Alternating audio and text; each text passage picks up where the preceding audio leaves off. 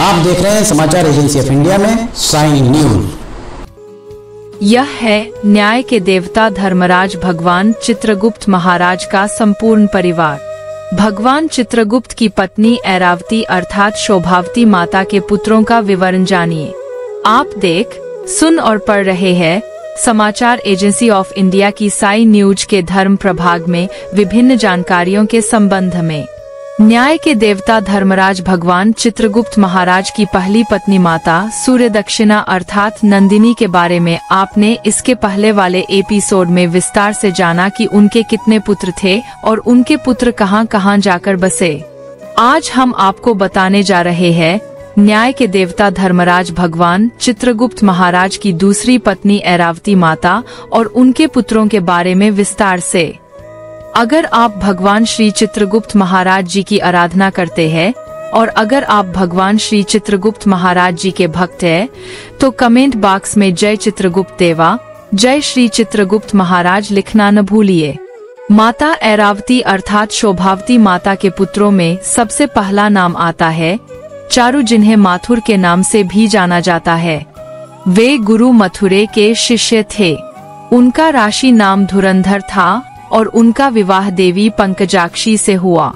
वह देवी दुर्गा की आराधना करते थे।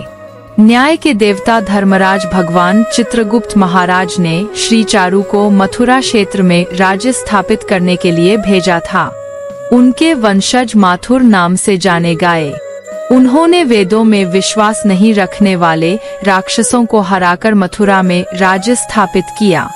इसके पश्चात उन्होंने आर्यावर्त के अन्य हिस्सों में भी अपने राज्य का विस्तार किया।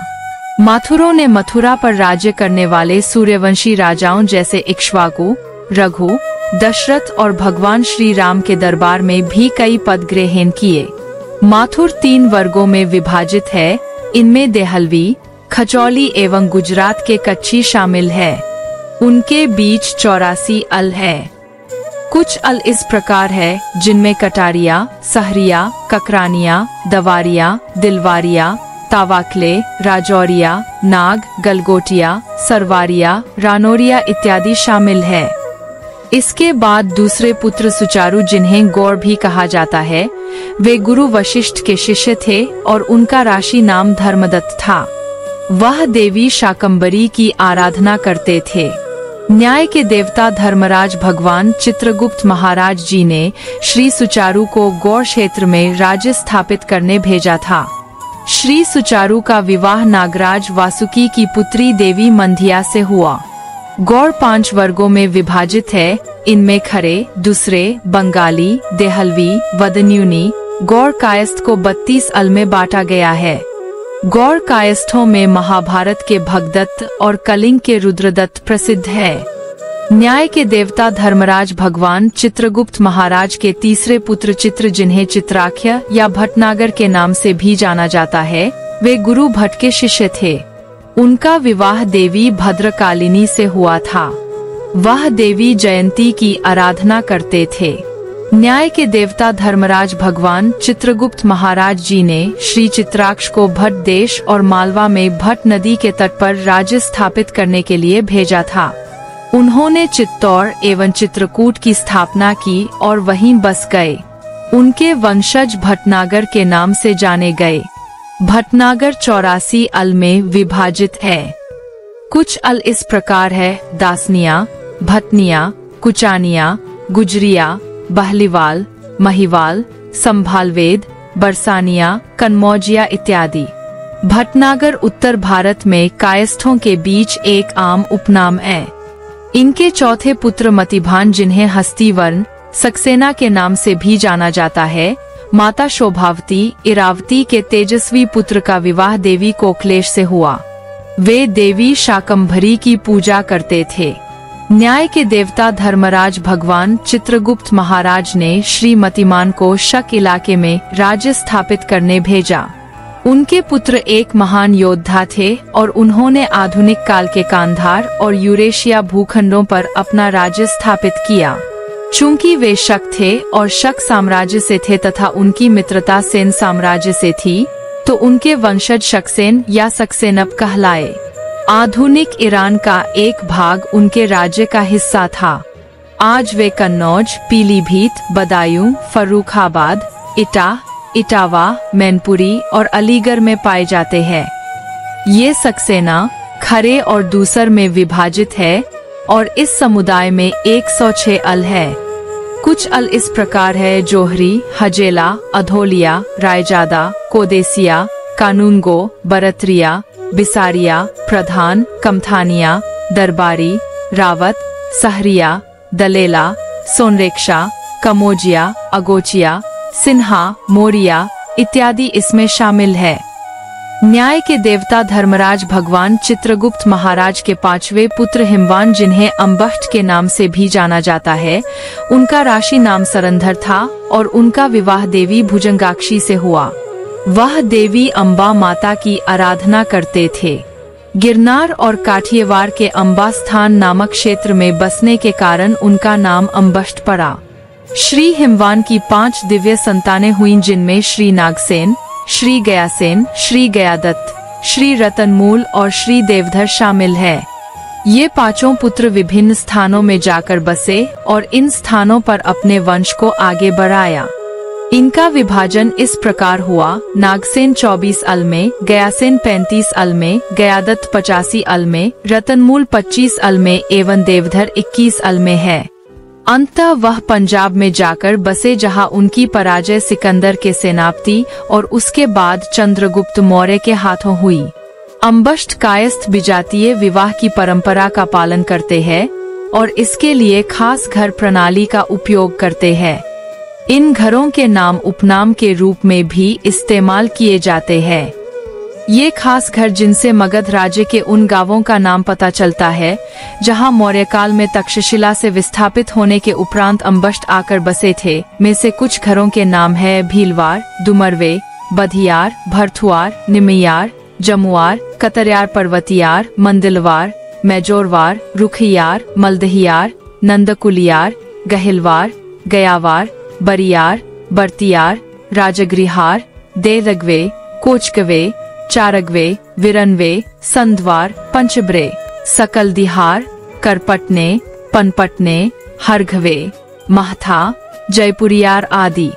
न्याय के देवता धर्मराज भगवान चित्रगुप्त महाराज के छठवे पुत्र चित्रचारु, जिन्हें निगम के नाम से जाना जाता है, का राशि नाम सुमंत था और उनका विवाह अशगंधमती से हुआ। वह देवी दुर्गा की आराधना करते थे। न्याय के देवता धर्मराज भगवान चित्रगुप्त महाराज जी ने श्री चित्रचारु को महाकोशल और निगम क्षेत्र जो सरयू नदी के तट पर स्थित है, में राज्य स्थापित करने के लिए भेजा। उनके वंशज वेदों और शास्त्रों की विधियों में पारंगत थे, जिससे उनका नाम निगम पड़ा। वर्तमान में कानपुर, फतेहपुर, हमीरपुर, बंदा, जलाओ, महोबा में रहते हैं। वे तैतालीस अल में विभाजित है। कुछ अल इस प्रकार है कानून गो अकबरपुर, अकबराबादी, घतामपुरी, चौधरी कानून गो बाधा कानून गो जयपुर, मुंशी इत्यादि। भगवान चित्रगुप्त महाराज के सातवें पुत्र चित्रचरण, जिन्हें करण के नाम से भी जाना जाता है, का राशि नाम दामोदर था, एवं उनका विवाह देवी कोकल सुता से हुआ। वह देवी लक्ष्मी की आराधना करते थे और वैष्णव थे। महाराज न्याय के देवता धर्मराज भगवान चित्रगुप्त महाराज जी ने श्री चारून को कर्ण क्षेत्र जो वर्तमान का कर्नाटक राज्य है, में राज्य स्थापित करने के लिए भेजा था। उनके वंशज समय के साथ उत्तरी राज्यों में प्रवासित हुए और आज नेपाल, उड़ीसा एवं बिहार में पाए जाते हैं। उनकी बिहार की शाखा दो भागों में विभाजित है इसमें गयावाल कर्ण, जो गया में बसे और मैथिल कर्ण, जो मिथिला में जाकर बसे।